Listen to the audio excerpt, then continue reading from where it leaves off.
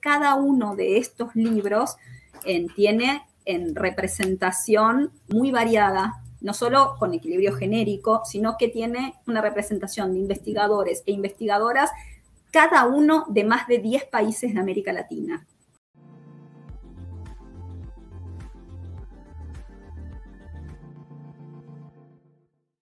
Buenas tardes, Gustavo, ¿cómo te va? Muy bien. Eh, Muchas gracias y buenísimo volver a tenerte aquí. Aparte, sabiendo que tengo entendido que hoy venís con una colección importante. Digo, siempre nos traes muchos títulos, muchas cosas, realmente muchísimo material, este, entendiendo el nivel de dinamismo que tiene el área de producción editorial. Pero ahora venís bajo el brazo con una colección, ¿es así? Sí, hoy no venimos con una novedad, venimos con una colección entera.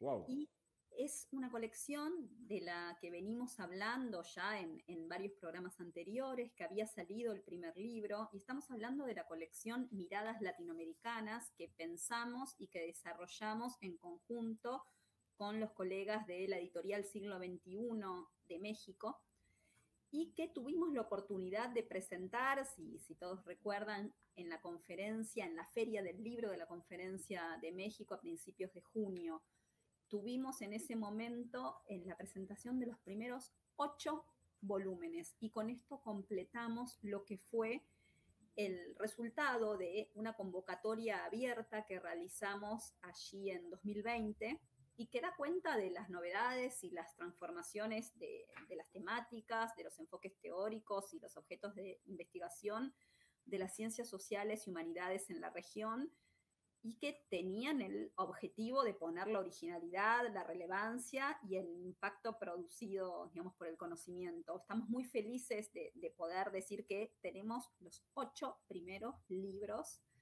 en que están ya distribuidos desde México. Los dos primeros libros están aquí ya en Argentina y muy prosiguientes en versión impresa y más adelante, como todos los libros de Claxo, también van a estar en acceso abierto. Por el momento está el de Karina Batiane, Miradas Latinoamericanas a los Cuidados, que ustedes ya se pueden descargar de la web, pero es digamos, una novedad más que importante, porque para nosotros representa una colección súper estratégica y que era justamente eso, renovar todas las en opciones teóricas, metodológicas, temáticas, abrirse a diversos campos del saber en ejes que para nosotros eran prioritarios. Así que estamos muy contentos de anunciar que tenemos los ocho libros listos, tal como habíamos prometido para la conferencia.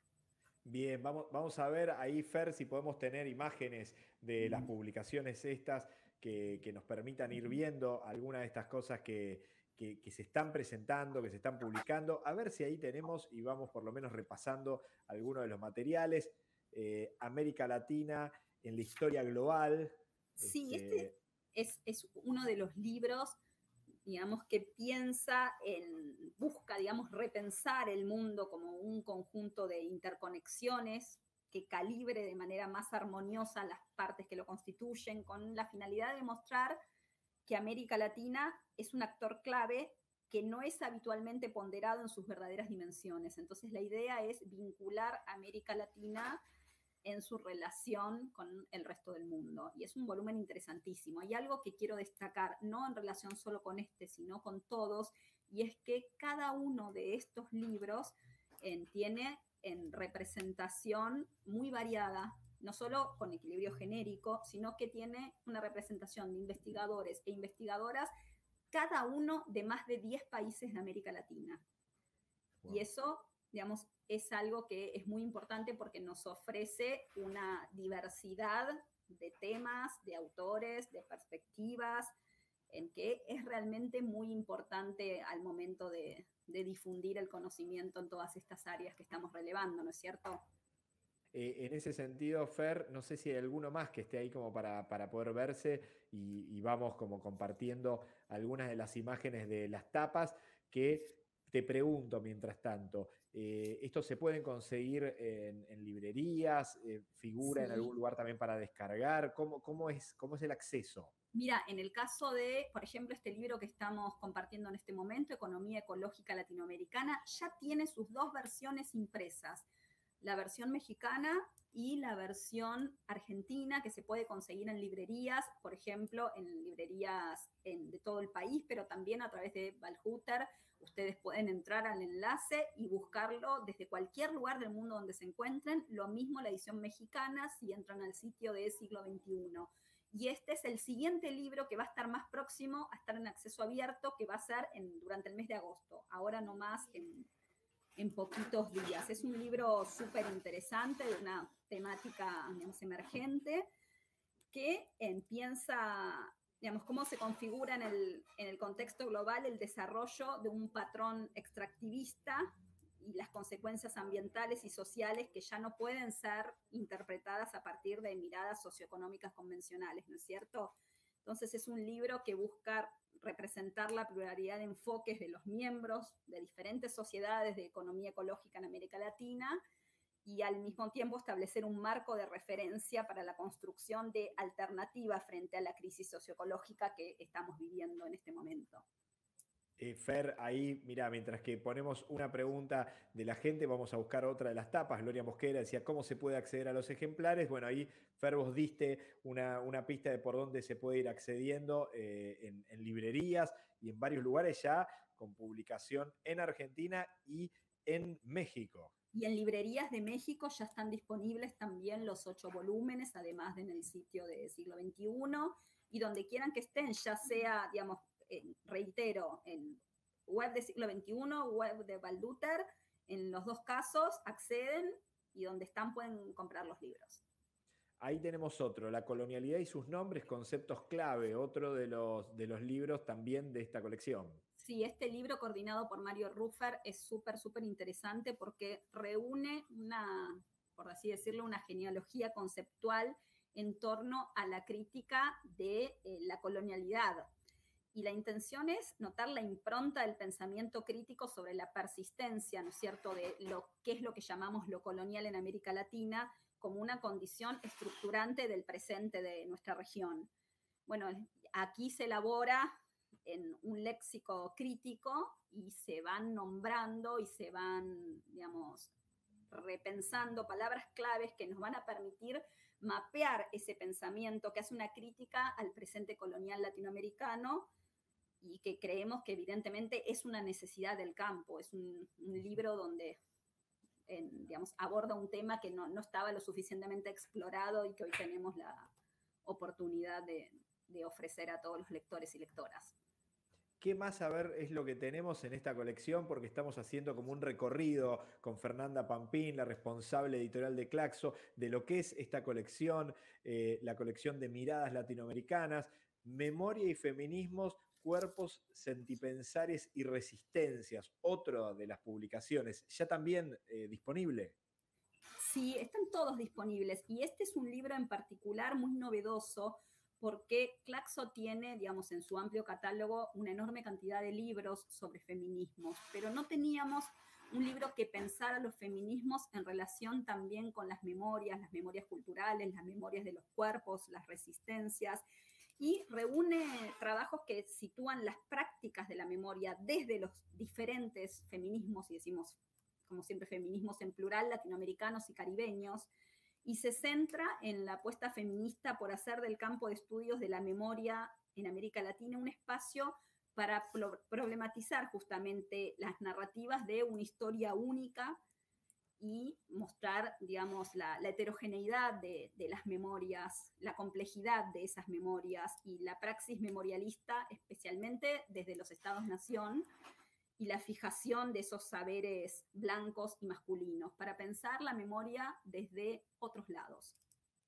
Qué importante esa construcción más diversa, que vaya por otros lados y que está puesto digo, no, no, solo en este libro, en la calle, digo, con las movilizaciones. Hace un ratito también hablábamos con, con Karina de los feminismos afro, ¿no? Digo, qué importancia en, esas, en esas vueltas. A ver, otra de las publicaciones. Muy presente los feminismos afro en este libro. Hay varios artículos que piensan, digamos, ese, el, digamos, lo afro dentro de la interseccionalidad también. Así que se los recomiendo. Y en instantes nomás vamos a estar, quienes están viendo del otro lado, en minutos nomás estaremos hablando con Carolina Jiménez desde Colombia, y nos estará actualizando un poco de lo que, eh, de lo que está pasando, de cómo es este movimiento, de lo que va a suceder el día domingo con la asunción de, de Petro y Francia Márquez. Pero sigamos haciendo, Fer, un repaso de estas publicaciones que permita, sé, que convencer a los que están del otro lado para que puedan acceder porque vale la pena. A ver, migración y movilidad en las Américas. Bueno, otro de los grandes temas que hemos tratado en muchas ocasiones y está reflejado en este libro. Sin duda es uno de los grandes ejes que interesan a, a la red Claxo y en, en, este caso, en la colección hay dos libros con diferentes perspectivas que tratan la cuestión de la migración. En este caso, Migración y Movilidad en las Américas.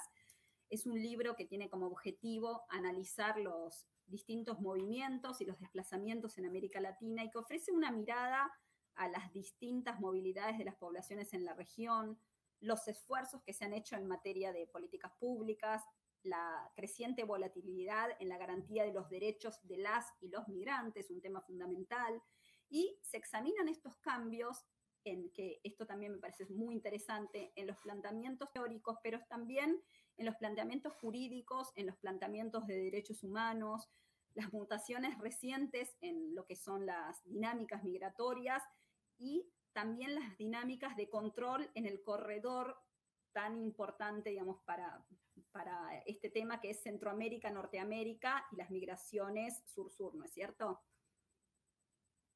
Sí, ahí claramente Fer, digo, con esa imagen ¿no? de la frontera, eh, entiendo que es la imagen de la frontera entre México y Estados Unidos, digo, que, va a una parte de la costa. Realmente muy fuerte del muro en la frontera, ¿no es cierto?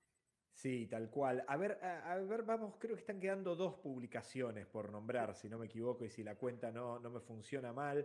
Eh, una de ellas que también.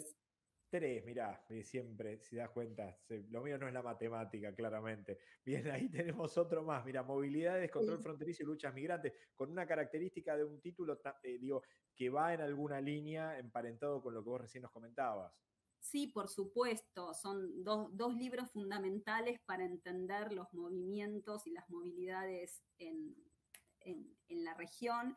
Y este, en este caso se examinan las formas en las que se manifestaron las tensiones y los conflictos entre los movimientos de migración y la, la instauración de regímenes de control en diversos contextos y experiencias migratorias en los últimos 10 años específicamente, desde miradas y metodologías que son, en, digamos, transversal, eh, porque son antropológicas, son sociológicas, son politológicas, y buscan entender, por un lado, la relación entre estados y regímenes de control fronterizo, pero también el modo en que en estos regímenes migratorios disciplinan a las poblaciones de algún modo, ¿no?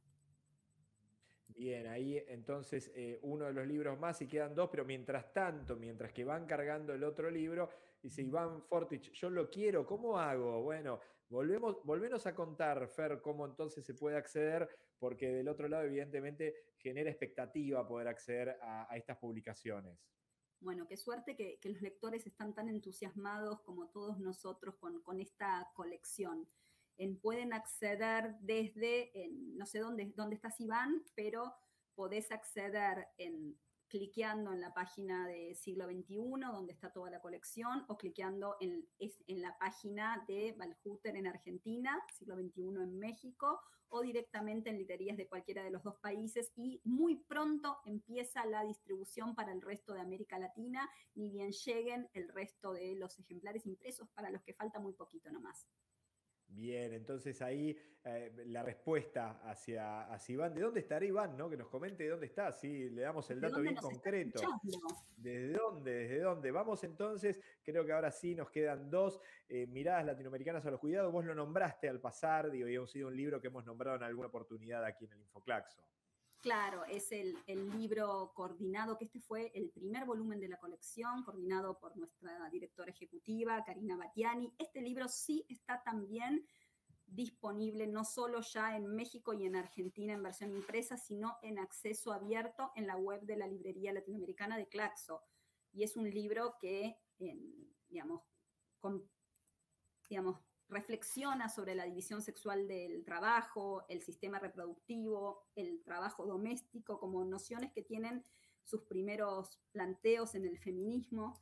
Y en América Latina también se hizo un fuerte hincapié en el cuidado como uno de los centros de la economía alternativa y feminista, pero también como un componente clave del bienestar social, algo de lo que Karina nos viene hablando desde hace mucho tiempo, ¿no es cierto? Y este libro presenta una reflexión colectiva sobre los cuidados, sobre las políticas del cuidado, como un concepto en continuo proceso de formación teórica porque además es un tema que está cada vez más puesto en agenda, ¿no es cierto? Al cual todos le estamos prestando cada vez una mayor atención, por suerte, nosotros, nuestros países, y sino que se puso también en evidencia durante la pandemia. Entonces, es, un libro que fue pensado pre-pandemia y que adquiere ahora, en, digamos, una relevancia realmente fundamental para pensar y que es un campo fértil actualmente en la investigación. Tal cual, Fer, y ahí nos responde Iván, dice, Bogotá, Colombia. Bueno, bienvenido, Iván. Este, estás en un lugar clave. Este, ahí estaremos hablando con Carolina Jiménez, que en minutos nomás va a estar con nosotros, y nos dice gracias. Bueno, Iván, y ahí también la posibilidad de acceder a la, biblioteca. Eh, un dato, eh, agrego ahí mientras tanto, y llevamos con el último libro que hablamos con Fer. Eh, entre, entre las personas con más visualización de Claxo TV, México, Colombia, impresionante Colombia, eh, así que gracias a colombianas y colombianos que están del otro lado, eh, unos números increíbles, estuvimos ahí haciendo seguimiento, la cantidad de gente de Colombia que se, se suma a ver y de México también, así que bienvenidos a todos y todas, porque son una multitud y nos alegra muchísimo que nos acompañen en las producciones de, Claxo TV. Bueno, Fer, eh, ahora sí creo que el último de esta colección de miradas, a ver. Eh, crisis ecológica latinoamericana. Este, este, ya lo comentamos recientemente. El que nos falta comentar es Crisis Política, Autoritarismo y Democracia, compilado por René Torres Ruiz y Darío Salinas. Bien, crisis que mientras que ustedes buscan la tapa, yo les puedo comentar un poco De, de, qué va el libro y que tiene que ver con las crisis y las luchas por la democracia que constituyen, como ya sabemos, uno de los más antiguos desafíos para el pensamiento político y social latinoamericano. Y es un libro que es en resultado de una reflexión realmente colectiva sobre la instauración y sobre el funcionamiento de la democracia en la región sobre sus ciclos de avances, sobre sus retrocesos y los efectos que han tenido esos procesos para cada uno de los países de América Latina. Y es una obra que sin duda busca indagar en diversas aristas que incumben a los procesos de democratización y sobre todo los procesos de emancipación en los países de América Latina. Ahí está, mirá, y ahí justo terminás, crisis política, autoritarismo y democracia. Este, ahí con el amigo Darío Salinas y René Torres Ruiz eh, como coordinadores del material. Bueno, eh, una gran colección, Fer, felicitaciones porque realmente hay un trabajo muy grande atrás de la realización de, una colección de, esta dimensión y que aparte, bueno, lo vemos ahí en los comentarios mientras que íbamos hablando, cómo genera impacto, ganas de, acceder a los contenidos. Así que felicitaciones por todo este trabajo y gracias por presentarlo aquí en Infoclaxo. Muchas gracias, Gustavo. Que tengan eh, buena tarde. Fernanda Pampín, directora de la producción editorial, responsable de la producción editorial de Claxo. Bueno, aquí presentándonos el material estará nuevamente con nosotros eh, en unas semanas y nos volveremos a encontrar para seguir charlando, hablando y presentándonos materiales realmente muy importantes y como ven genera este, mucho impacto y que son realmente muy valiosos eh, y por suerte se están difundiendo de una manera muy importante, digo, con publicaciones en México, en Argentina, en diferentes lugares, la posibilidad de acceder en diferentes partes del mundo vía Valhooter, bueno, eh, algunos de ellos también acceso abierto, digo, realmente muy, pero muy valioso el contenido. Hablábamos de Colombia hace algunos minutos y a Colombia vamos a viajar. Dividimos, dividimos y nos metemos de lleno con la situación colombiana, repercusiones, movimientos sociales, eh, qué significa para la región el movimiento, esta asunción del día domingo, en minutos, en segundos, aquí en el Infoclaxo.